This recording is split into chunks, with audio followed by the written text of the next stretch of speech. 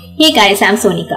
In today's video, we are going to compare my Nikon Coolpix B500, a small sensor super zoom camera, to another popular bridge camera, uh, the Canon PowerShot SX 620HS. So let's get started.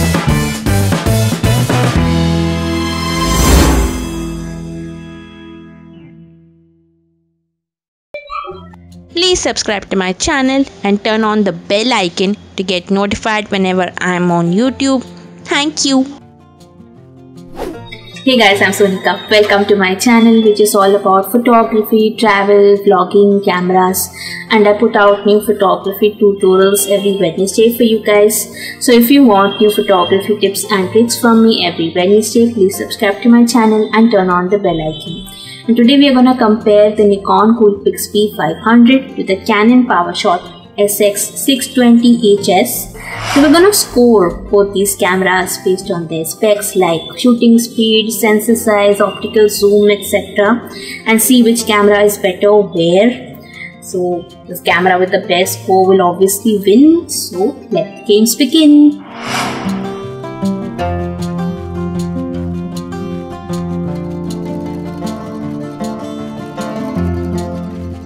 Both cameras have the same sensor size 1 by 2.3 inch sized BSI CMOS sensor.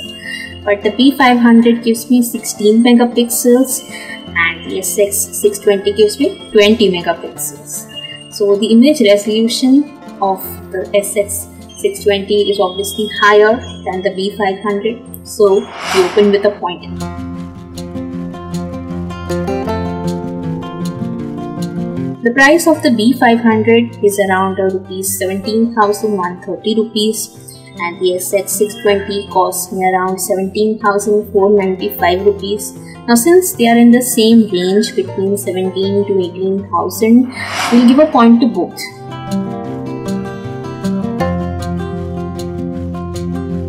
The optical zoom of the B500 is 40x that is equivalent to around 900 mm in 35 mm film terms and the optical zoom of the SX620HS is 25x that is equivalent to 625 mm. So the B500 gives me more flexible focal coverage.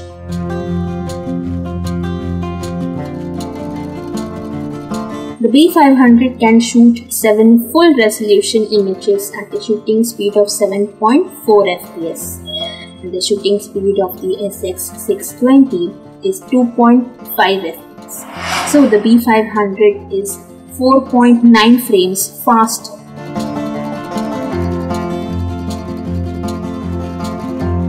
The B500 has a tilting screen its screen cannot swivel to the side but it can tilt in such a way so it's very useful for high angle, low angle shots. But the screen of the SX620 is fixed, it cannot move at all.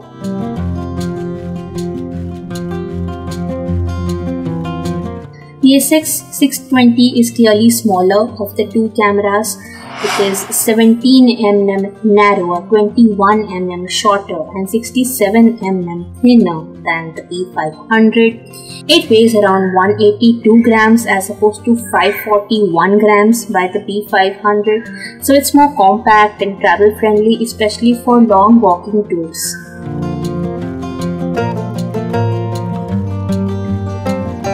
With a single charge, the B500 gives me around 600 shots and the SX620 gives me 295 shots. So that's 305 more shots by the B500. The B500 gives me Bluetooth connectivity also that makes it very easy for me to connect my camera to my mobile and other devices.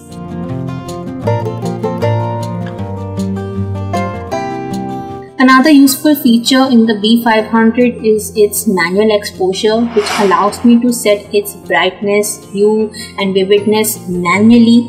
This feature is lacking in the SX620.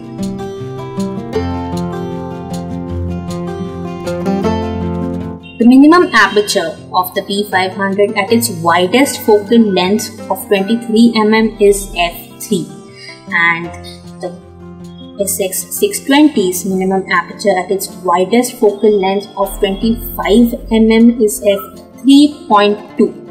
So the B500 gives me 2 mm wider coverage and at f3 it is faster at its widest end.